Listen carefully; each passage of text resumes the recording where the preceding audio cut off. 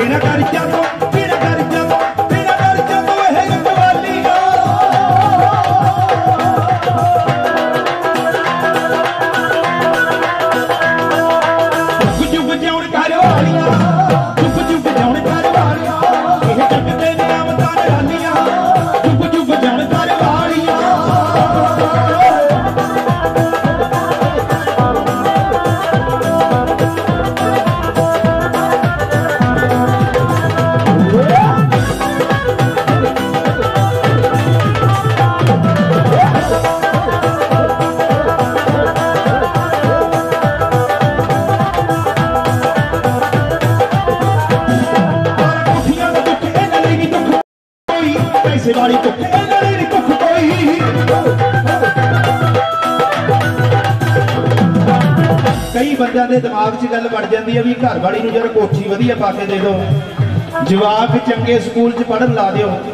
ਇਹਨਾਂ ਕੋਲੇ ਸੂਟ ਹੋਣੇ ਚਾਹੀਦੇ ਆ, ਗਹਿਣੇ ਹੋਣੇ ਚਾਹੀਦੇ ਇਹਨਾਂ ਦੇ ਅਕਾਊਂਟ 'ਚ ਥੋੜੇ ਜਿਹੇ ਪੈਸੇ ਹੋਣੇ ਚਾਹੀਦੇ ਆ। ਸ਼ਾਇਦ ਆਈ ਖੁਸ਼ ਹੋ ਜਾਂਦੀਆਂ, ਇਹ ਲੈਦਾ ਗੱਲ ਹੈ ਜਦੋਂ ਮਹਾਰਾਜ ਦੀ ਹਜ਼ੂਰੀ 'ਚ ਆਪਾਂ ਇਹਨਾਂ ਦਾ ਪੱਲਾ ਫੜਦੇ ਆ। ਤੇ ਸਹੂਲਤਾਂ ਦੇਣਾ ਆਪਣਾ ਫਰਜ਼ ਬਣਦਾ, ਪਰ ਸਹੂਲਤਾਂ ਤੋਂ ਪਹਿਲਾਂ ਘਰ ਵਾਲੀ ਨੂੰ ਕੀ ਚਾਹੀਦਾ ਹੁੰਦਾ ਹੈ? ਘਰ ਵਾਲੀ ਨੂੰ ਇੱਕ ਚੀਜ਼ ਬਹੁਤ ਜ਼ਰੂਰੀ ਚਾਹੀਦੀ ਹੁੰਦੀ ਹੈ ਘਰ ਵਾਲੇ ਦਾ ਸੱਚਾ ਪਿਆਰ, ਦਿਲੋਂ ਸਤਿਕਾਰ ਜੇ ਇਹ ਮਿਲ ਜੇ ਫਿਰ ਇਹ ਰੁੱਖੀ ਮਿੱਸੀ ਖਾ ਕੇ ਵੀ ਸਮਝੌਤਾ ਕਰ ਲੈਂਦੀਆਂ ਧਿਆਨ ਨਾਲ।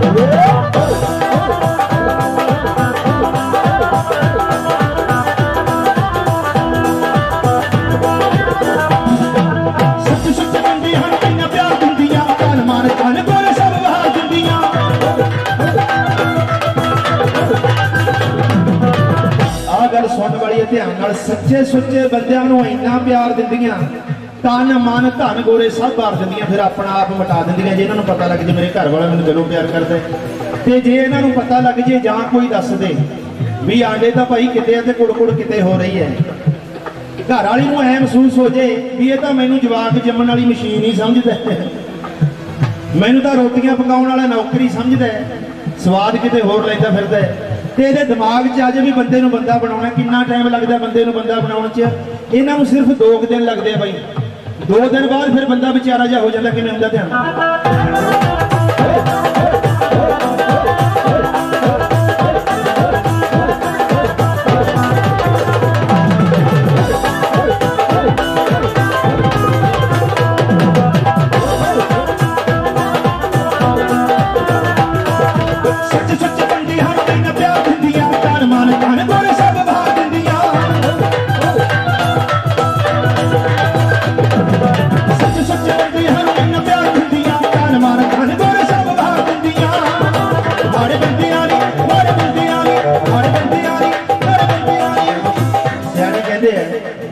ਆ ਔਰਤ ਪਿਆਰ ਹੈ ਤੇ ਔਰਤ ਤਲਵਾਰ ਵੀ ਬਹੁਤ ਭੈੜੀ ਹੈ ਦੀ ਧਾਰਾ ਬਹੁਤ ਤਿੱਖੀ ਹੁੰਦੀ ਹੈ। ਇੱਕ ਵਾਰੀ ਵਾਰ ਕਰਦੇ।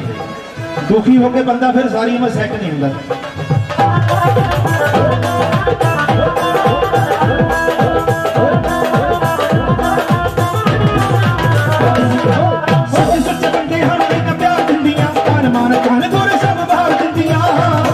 ਸੱਚ ਬੰਦੇ